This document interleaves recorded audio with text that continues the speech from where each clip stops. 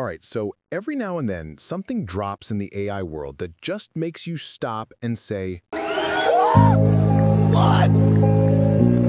Today is one of those days. Forget what you thought you knew about open source AI video, because a new project called UniVA just came out of nowhere, and it's not just good, it's ambitious.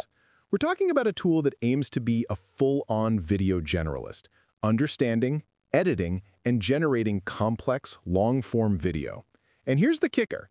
In their own benchmarks, its understanding module is already scoring higher than giants like GPT-4o and Gemini 2.5 Pro on complex video tasks. And in human evaluations, it's beating other popular video models. So today we're going to dive into the examples, see what it can really do, and then I'll break down how it works and how you can, maybe, get your hands on it. All right, let's start with an example that really showcases its core strength.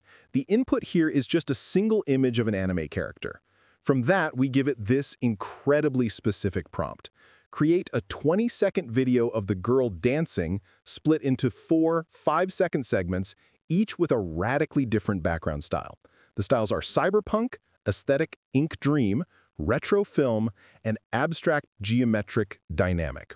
The crucial command, though, is that the character and her movements must stay consistent. Now, let's watch the output. The first five seconds kick off with that cyberpunk city, and it looks fantastic. Then it seamlessly transitions into the aesthetic ink dream. Look at the detail in that style. It's beautiful. Next up is the retro film block, and it nails that vintage vibe. And it finishes with the abstract geometric dynamic look. But the truly stunning part here is the character herself. She is perfectly consistent across all four completely different art styles.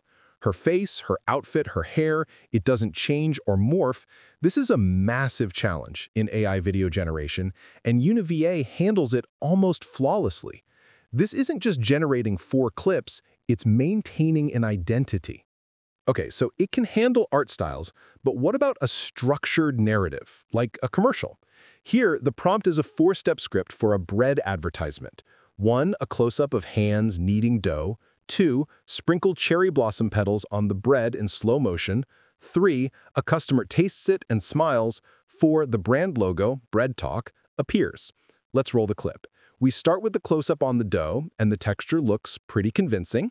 Then we see the dough being stretched, and here come the rose petals falling on the finished bread. Beautiful shot. Then we cut to the customer's reaction. She's clearly enjoying it. And right on cue, at the very end, the brand logo and text fade in. It followed a multi-step sequential script to a T. That's a game changer. Let's look at another one. This is a text prompt for a really complex professional-looking video. It specifies four distinct clips, each with its own action. Clip 1, a man adjusts his coat in a mirror. Clip 2, he's focused at work on his computer. Clip 3, he's in a meeting, and clip 4, he closes his laptop at dusk.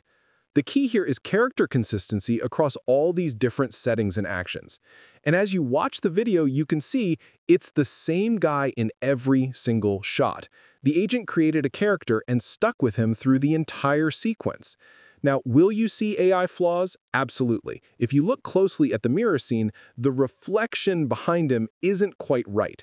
But the fact that it can maintain a single character's identity through a whole day in the life story is incredibly impressive. The agent also gets incredibly creative.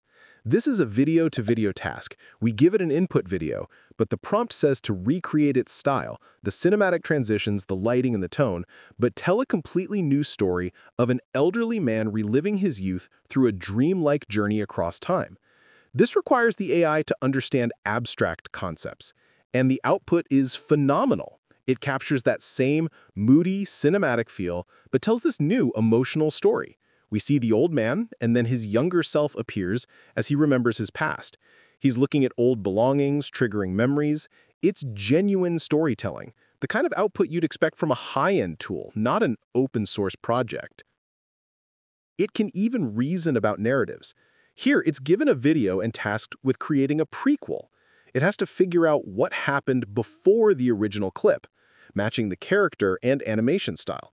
The result is a short story about the character's backstory, showing him working hard and struggling. The ability to infer and construct a logical preceding narrative is a huge step towards true AI video intelligence. And as you'd expect, it handles style transfer well. Given a video, the prompt is simply to maintain all the plot and motion as is and apply the Chinese ink painting style. And you can see, it transforms the original animation into this beautiful ink wash style. It's not a perfect one-to-one -one recreation of every scene, but it captures the essence, even carrying over key objects like the bicycle from the original into the new style.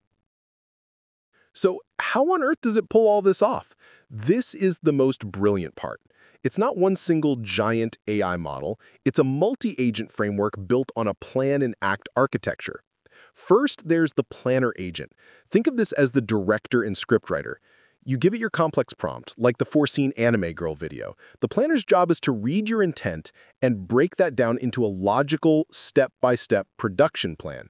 It might say, Step 1, analyze the input image to create a consistent character model. Step 2, generate a 5-second clip with this character and a cyberpunk background. Step 3, generate another 5-second clip with the same character and an ink wash background, and so on. Once the plan is made, it gets handed off to the executor agent or a team of them. Think of these as the specialist crew on a film set.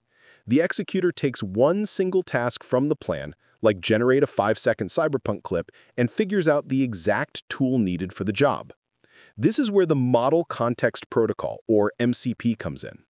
MCP is like a universal translator. It's a standardized way for the executor to talk to a whole library of different AI tools, which are set up as modular servers. It can call a video generation tool like Seedance, a video understanding tool like InternVL, a segmentation tool like SAM2, or even a non-AI tool for just cutting video clips. This makes the whole system plug and play. You can always swap in the latest and greatest models. But the real secret to consistency is the hierarchical memory system. It has three levels. First is the user memory, which is basically your media bin. It stores the images and videos you upload. Then there's the global memory, which is the agent's long-term experience. It remembers plans from previous projects that worked well, so it gets smarter over time. And the most important one is the task memory. This is the project's short-term memory. When the planner's first step is to create a character model from your input image, that character model gets stored here. Then, for every subsequent step, generating the cyberpunk scene, the ink scene, the retro scene, the executor refers back to that exact same character model in the task memory. This is how it ensures the girl looks identical in every single shot. It's not guessing, it's referring to a master blueprint it created at the start. It's this complete pipeline, plan, act, and remember that allows UniVA to achieve a level of coherence that single monolithic models just can't match. So how do you actually use this thing? From the demo, it looks like a full-blown video editor. You have a media bin where you upload your source clips, images, or audio. The magic happens in a chat window on the side. You can type at symbol to select a piece of media you've uploaded, then write your prompt. You can ask for a single scene, or give it a complex multi-part prompt like we've seen. The agent then goes to work, generating the scenes, editing them together on the timeline, and it can even generate background music and a text-to-speech voiceover if you ask it to. It basically acts as your AI video production assistant, all within one unified interface. All right, so how can you get your hands on it? Currently, UniVA is an invite-only beta. On their official project page, which I'll link below, there's a link to a Google form to request access. You fill in your details, explain your use case, and if you're selected, they'll send you an access code for their demo system. I've put my name in the hat and I'm waiting patiently. If I get in, you can bet I'll be doing a full hands-on review. As for the code itself, they have open source in the title of the paper, and they've created a GitHub repository. As of right now, the repo is just a placeholder. The code and models haven't been uploaded yet, but this is a very strong signal that a public release is planned. Hopefully we won't have to wait too long. All the links to the project page, the paper, and the GitHub will be down in the description. I really think UniVA represents a paradigm shift, moving away from just making cool-looking clips towards building intelligent engines for actual video creation. Let me know what you think in the comments. Is this the breakthrough you've been waiting for? Thanks for watching, and I'll see you in the next one.